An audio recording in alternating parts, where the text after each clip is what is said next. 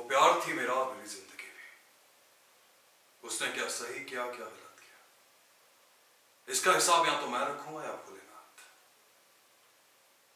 मेरी स्वर्गवासी पत्नी के बारे में कुछ भी बोलने से पहले एक बात मैं आपको बता दूँ।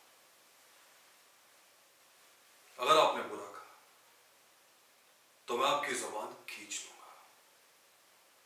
और अगर आपने अच्छा कहा, इसका मतलब कि आप झूठ कह रहे होंगे